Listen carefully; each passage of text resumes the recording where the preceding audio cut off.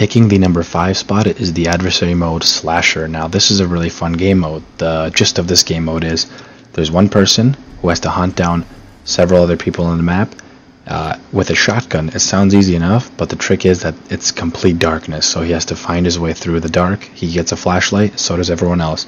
But if you use your flashlight, it makes you very visible and vulnerable to the slasher.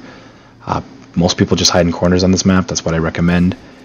And uh, you just kind of have to navigate your way looking at your mini-map rather than using your flashlight if you want to stay alive. Coming in at number 4 on our list is the adversary mode Sumo. Now I like Sumo for a couple of reasons. Uh, one, it's a small game mode, so there's only four people, so there's two teams, 2v2. And two, because it combines some of my favorite things like juking and just wreckage. Basically, there's two teams and you're supposed to knock each other off the platform. It's a hell of a lot of fun if you play with some people. Even randos are fun too, but it just I just love this game mode because you just knock people off and that's just entertaining to me. Coming in at number three is Hasta La Vista. Now I really love this game mode. Uh, it involves four players, two people are semi-trucks, and the other two are on bicycles. And the goal is for the bikes to get to the end point, and they win. And the goal for the semi-trucks is to kill the bikers before they get to the end point. It's a lot of fun, especially if you play with a group of friends or even with some random people online. Again, uh, it, it's a lot of fun juking out the trucks and watching them fall down a hill or getting stuck or something. It just makes for good laughs. Or if you're the trucks and pinching some guy with your teammate, like squeezing them together or just slamming them off track and destroying them. I have a lot of fun. That's why it makes number three. Coming in at the number two spot is Deadline. Now, Deadline is basically Tron. There's no other way to put it. Look at it. It looks exactly like Tron.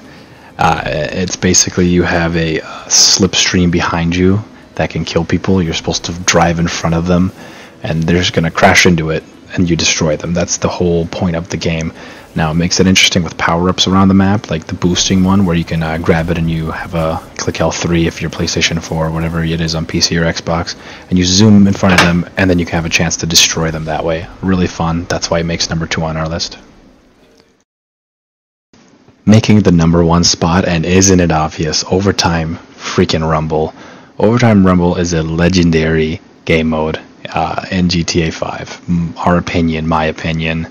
Uh, this is probably the best adversary mode they've dropped. I love the combination of team-based and like a dartboard-esque kind of uh, scoring method, and the ability to knock people off of like a five or four spot is just so satisfying. It, it just makes me just happy inside. I know that's so evil to say. A lot of people hate that, and a lot of people dislike some of our videos with Overtime Rumble just because they don't like the tip of knocking people off. But I think it makes the game mode so much fun. Just a quick update for the channel, guys. Uh, we're about to hit 700 subscribers. I think last time I checked we were 696. That's incredible.